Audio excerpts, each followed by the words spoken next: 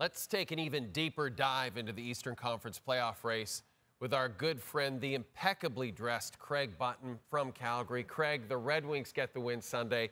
They get back into that final wildcard spot position ahead of the Penguins. And yet, this could change at any moment, as we will see in these standings. I want to show this to you, Craig. Two spots up for grabs, as you know.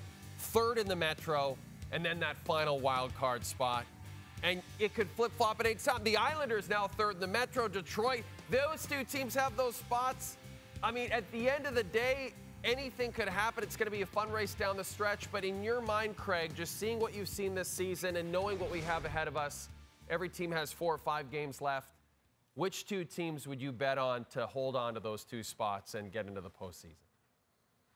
I think you're very liberal using the word race here, talking about those two final playoff spots, because uh, it, it's done at a snail's pace. I mean, there's teams that have certainly, like, they, they had a hold on, on playoff position and then they've fallen right off. So you ask me, who do I think will find, will find their way into the playoffs? I think it'll be the New York Islanders and the Pittsburgh Penguins. And now it begs, it begs the question why do you say that, Craig? I'll tell you why. Because at this point in the season, it's about who's playing the best. It's yeah. about who's finding ways to win. And that's exactly what the Islanders and the Penguins are doing.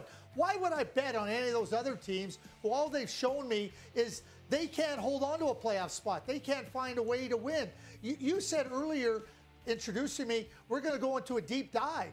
You, you, know what the three teams, Detroit, Washington, and the Philadelphia Flyers, have been? They've been in a deep dive. They were in a playoff spot. it's true, Craig. And I want to talk a little bit more about the Penguins and Islanders. They're your picks, and yet almost no one had them getting into these two spots at the beginning of March. The Islanders were six points out. The Penguins were eight points out. The Penguins traded Jake Guentzel. End of story. They didn't think they were going to make it. so, in your mind, Craig, what is it that has allowed those two teams to play this well and get themselves into this position?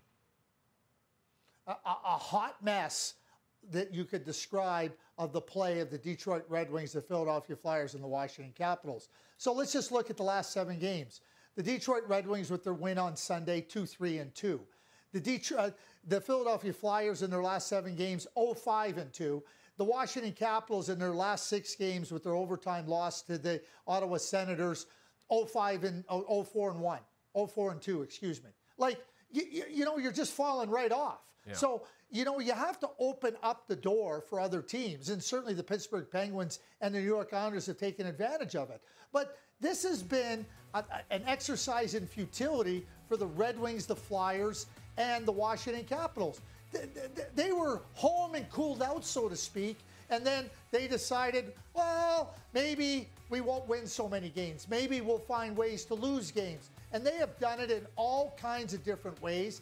They've done it like with consecutive losses. I just mentioned the streak that they've run into. And if you go all the way back to just before March 1st, these teams have not played very well. Yeah. And that opens up the door for other teams. So when you ask me who's going to make the playoffs, I'm betting on the teams that have found a way to win games. I'm not betting on the teams that continue to show that they're going to find ways to lose. They're not playoff worthy, in my view. I, I think uh, you make very fair points. Now, I do want to provide a silver lining to Flyers fans and Washington Capitals fans out there. Your teams do have the easiest remaining schedules, but there are not many games left. Pittsburgh actually has the toughest schedule, and as Craig said, they're playing great hockey right now. Craig Button, you're the best. Thanks, my friend.